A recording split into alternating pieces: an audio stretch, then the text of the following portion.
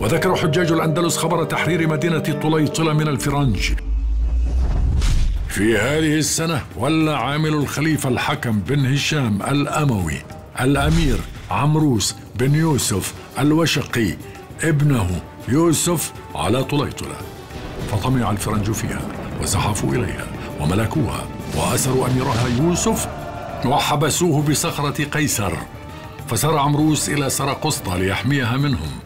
وبعث العساكر مع ابن عمه فقاتل الفرنج وهزمهم وسار إلى صخرة قيصر فافتتحها وبعث عمروس نائبه فخلص ابنه يوسف فعظمت مكانته وذاع صيته في البلاد.